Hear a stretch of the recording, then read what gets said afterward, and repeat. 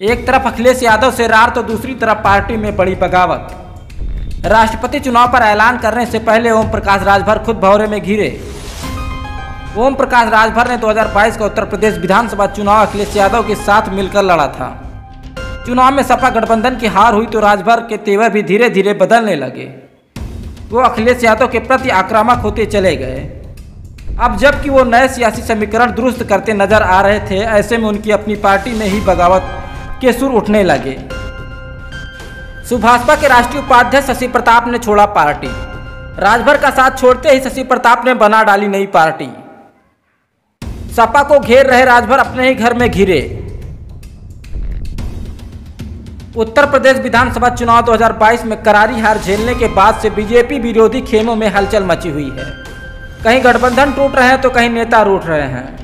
बगावत की ताज़ा आँच सुहेल देव भारतीय समाज पार्टी सुभाषपा के द्वार तक पहुँची है।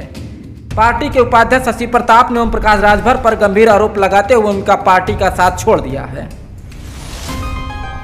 विधानसभा चुनाव में अखिलेश यादव के साथ मिलकर लड़ने वाले ओम प्रकाश राजभर के लिए ये बड़ा झटका माना जा रहा है।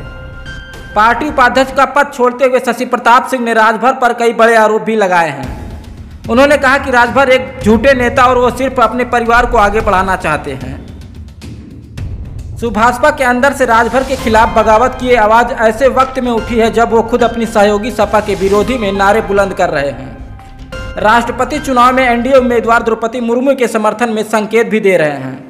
सपा से नाता तोड़ नए सियासी समीकरण सेट करते भी नज़र आ रहे हैं ओम प्रकाश राजभर 2022 के विधानसभा चुनाव में ओम प्रकाश राजभर ने अखिलेश के साथ कंधे से कंधा मिलाकर बीजेपी को चुनौती दी।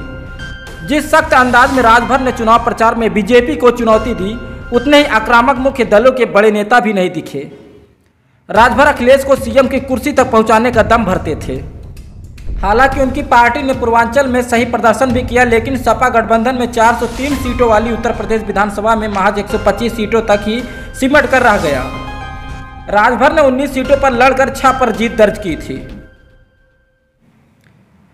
राष्ट्रपति चुनाव को लेकर राजभर बड़ा ऐलान करने वाले थे, तभी इन तमाम बयानों और घटनाक्रमों के बीच राजभर की नजदीकियाँ शिवपाल यादव से बढ़ने लगी।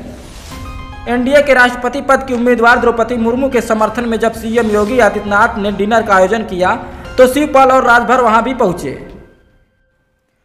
आज मंगलवार को जब ओम प्रकाश राजभर राष्ट्रपति चुनाव में अपने समर्थन का ऐलान करने जा रहे थे, उससे पहले पार्टी के उपाध्यक्ष शशि प्रताप सिंह ने उनका साथ छोड़ दिया।